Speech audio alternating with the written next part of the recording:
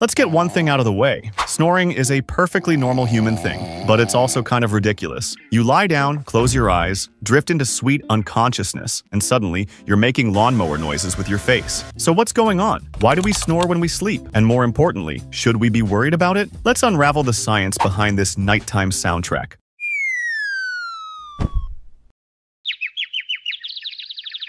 First off, what exactly is snoring? Snoring is the sound of air getting squeezed through a partially blocked airway. When you sleep, especially during the deeper stages, the muscles in your throat, mouth, and tongue relax. Sometimes they relax a little too much. If that soft tissue partially collapses into your airway, it narrows the path for air to flow through. So when you breathe, the air causes the floppy tissues to vibrate, and that's the snore. It's basically your throat trying to whistle without permission. The narrower the airway, the louder the vibrations. That's why some people sound like a purring kitten, while others sound like a freight train coming through drywall. Snoring can also change depending on the stage of sleep you're in. During REM sleep, when your brain is most active and dreaming kicks in, your muscles go extra limp, which can increase snoring. That's why you might snore more during certain parts of the night. Interestingly, the sound of snoring varies not just in volume, but also in tone and rhythm. Doctors can often get early clues about sleep disorders just by listening to these variations. So why do only some people snore? It comes down to a mix of anatomy, habits, and health. Here are some of the top culprits. Nasal congestion. If your nose is stuffed, your body switches to mouth breathing, which increases the chance of snoring. Sleep position. People who sleep on their back are more likely to snore because gravity pulls the tongue and soft palate downward. Alcohol and sedatives. These relax your throat muscles even more than usual. Body weight. Extra tissue around the neck can put pressure on the airway. Age. As we get older, throat muscles lose tone. Think of it like your airway going out of shape. Anatomy. Some people naturally have a low, thick, soft palate, long uvula, or narrow narrow throat, all of which makes snoring more likely. Some snoring is even genetic. If your parents were noisy sleepers, there's a decent chance you might be too. Studies suggest there's a hereditary component to airway structure and muscle tone that can influence your nighttime volume. Is snoring dangerous? Most of the time, snoring is harmless, just annoying, especially for whoever's stuck sharing a bed with you. But in some cases, it can be a sign of something more serious, like obstructive sleep apnea.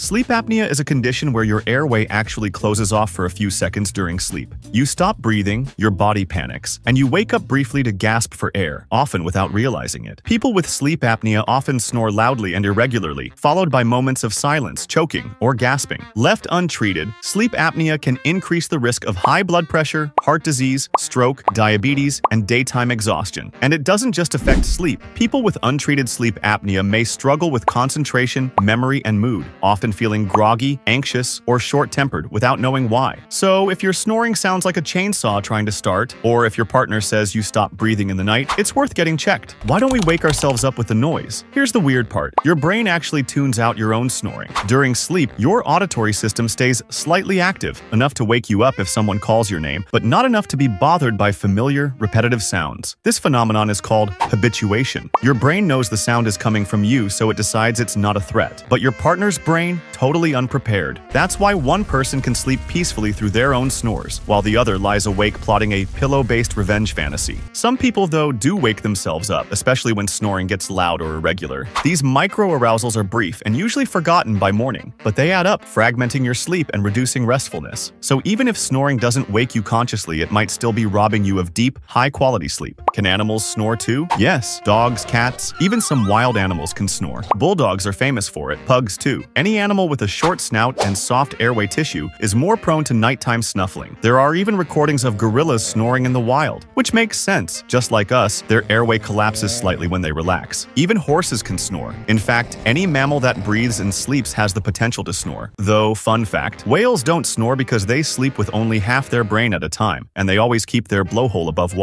Can you stop snoring? Sometimes, yes. Sometimes, not completely. Here are a few fixes that work for many people. Change your sleep position. Sleeping on your side can reduce or eliminate snoring. Treat allergies or congestion. Clearer airways equals quieter nights. Avoid alcohol and heavy meals before bed. These relax your airway muscles. Lose weight if needed. Less neck tissue means more space to breathe. Try nasal strips or a humidifier. These help with airflow and dryness. And if those don't work, a doctor might recommend a CPAP machine machine, or even minor surgery. CPAP stands for Continuous Positive Airway Pressure. Whatever the solution, the goal is the same. Better breathing, better sleep, better life. Snoring might sound funny, sometimes it is, but it's also your body giving you feedback about how you sleep, how you breathe, and how your airway is doing. So the next time someone nudges you awake for snoring, don't get mad. Just smile, roll over, and say, Thank you for the free health screening. Then maybe try sleeping on your side. Do you snore? Know someone who does? What tricks have actually worked or failed hilariously? Let us know in the comments. And don't forget to like this video if your sleep has ever been interrupted by a rogue snorer. Subscribe to Why X for more science that makes sense of the strange things we all do. Hit the bell so you never miss a bedtime mystery. See you and hear you in the next episode.